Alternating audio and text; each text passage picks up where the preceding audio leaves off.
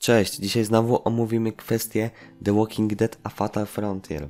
Niestety, albo nawet to i dobrze, wszystkie te przecieki, które omówiłem w poprzednim filmie, które dotyczyły nowego sezonu The Walking Dead, okazały się kłamstwem.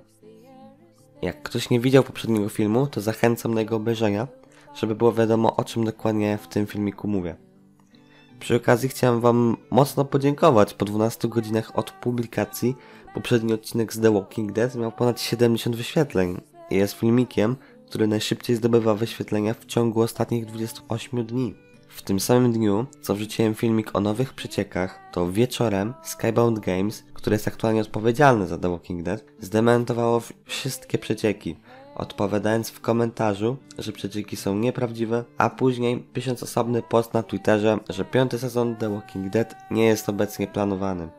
Ale napisali, że obecnie nie jest planowany. Czyli w teorii mogą zacząć planować piąty sezon już za tydzień. Naprawdę szkoda, że nowy sezon nie jest aktualnie planowany, ale mimo wszystko dobrze, że te plotki okazały się nieprawdziwe. O wiele mniejszy nacisk na nasze wybory, klimat bliższy Resident Evil, takie coś według mnie mocno by zepsuło tą grę. A magiczne wskrzeszenie Kenego według mnie także byłby to zły pomysł. Ciężko byłoby wytłumaczyć to, że żyje, pomimo że zależnie od naszych wyborów został zastrzelony,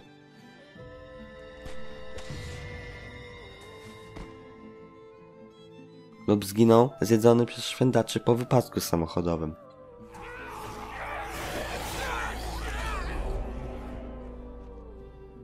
Oczywiście po wybraniu innych wyborów Kenny mógł przeżyć. Można niby założyć, że po postrzeleniu jakimś cudem przeżył, po czym odzyskał przytomność i może ktoś go znalazł i pomógł mu przeżyć, lub po wypadku miał ze sobą jakąś broń i się obronił, a paraliż był tylko chwilowy, ale jest to już doszukiwanie się na siłę i nie wiem, czy miałoby to większy sens. Mimo wszystko, historia z upadkiem Richmond i próba odnalezienia Clementine przez Javiego brzmi naprawdę ciekawie i naprawdę fajnie, jakby jednak taki motyw pojawił się w piątym sezonie, gdyby był jednak planowany.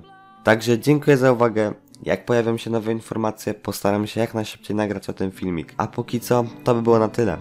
Cześć!